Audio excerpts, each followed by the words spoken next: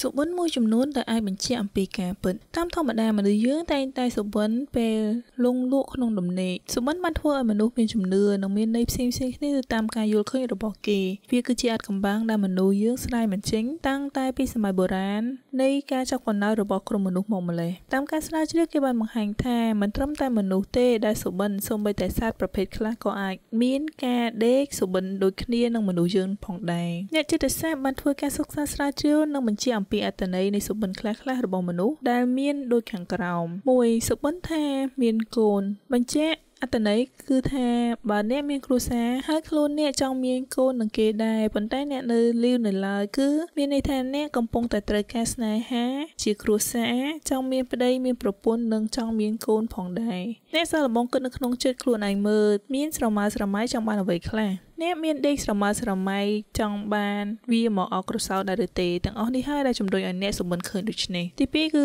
សម្បិនឃើញខ្មុំបញ្ជាក់នៃអំពីសញ្ញាណដាស់តឿនគ្រោះថ្នាក់អាសន្នបង្កប់នៅក្នុងខ្លួនបើសម្បិនថាត្រូវខ្មុំតិចបញ្ជាក់ថាអ្នកកំពុងតែមានបញ្ហាចោមរោមស្ទើរគ្រប់ទិសទីក្នុងពេលនេះអ្នកគួរតែរកវិធីទប់ទល់ឬការពារទុកជាមុនបានហើយ ទី3គឺសម្បត្តិឃើញរថយន្តអត្តន័យនោះគឺមានន័យថាអ្នកកំពុងតែស្វះស្វែងរកភាពជឿនលឿនក្នុងជីវិតប៉ុន្តែប្រសិនបើសម្បត្តិឃើញយានជំនិះរបស់អ្នកត្រូវចោលលួចបញ្ជាក់ន័យថាអ្នកកំពុងតែមានអារម្មណ៍ត្រូវគេបោកប្រាស់ឬដើរខ្សែលើខ្លួនដោយនរណាម្នាក់ដែលមិនទាន់ដឹងជាក់លាក់នៅឡើយទី4សម្បត្តិឃើញសង្សារចាស់បញ្ជាក់ន័យថាអ្នកអាចមានអ្វីនៅសេសសល់ជំពាក់ជំពិនពាក់ព័ន្ធផ្លូវចិត្តជាមួយនឹងគេខ្លះនៅឡើយស្ត្រីឬបុរសនោះធ្លាប់មានភាពផ្អែមល្ហែមជាមួយអ្នកនៅមិនទាន់ដាច់អាល័យអស់នៅឡើយ5សុបិនឃើញផ្កាបញ្ជាអត្តន័យថាប្រសិនបើផ្កានៅក្នុងសុបិនរបស់អ្នកជាផ្កាស្រស់បញ្ជាក់ថាអ្នកកំពុងតែមានសេចក្តីសុខនិងពេញចិត្តនៅក្នុងជីវិតប៉ុន្តែប្រសិនបើឃើញផ្កានោះរុះរយមានន័យថាអ្នកកំពុងតែជួបប្រទះភាព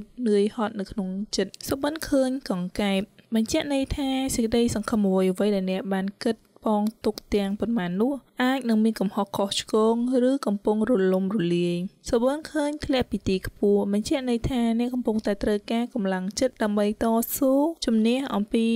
ដំណើរជីវិតបន្តទៅទៀតប៉ុន្តែពេលខ្លះការសម្បិនបែបនេះក៏កំពុងបញ្ជាក់ន័យថាអ្នកកំពុងតែឈានឡើងខ្ពស់ឬមានទូនាទីថ្មីនៅក្នុងជីវិតផងដែរអស់ហើយជាមួយនឹងអត្ថបទនេះដែលនិយាយអំពីសុបិនមួយចំនួនដែលបញ្ជាក់អំពីការពិតនេះយោងតាមទស្សនៈផ្លូវចិត្ត សង្ខេបមកវិញដូចជាសុបិនឃើញមានកូនសុបិនឃើញខ្មុំសុបិនឃើញរថយន្តសុបិនឃើញសង្សារចាស់ឃើញផ្កា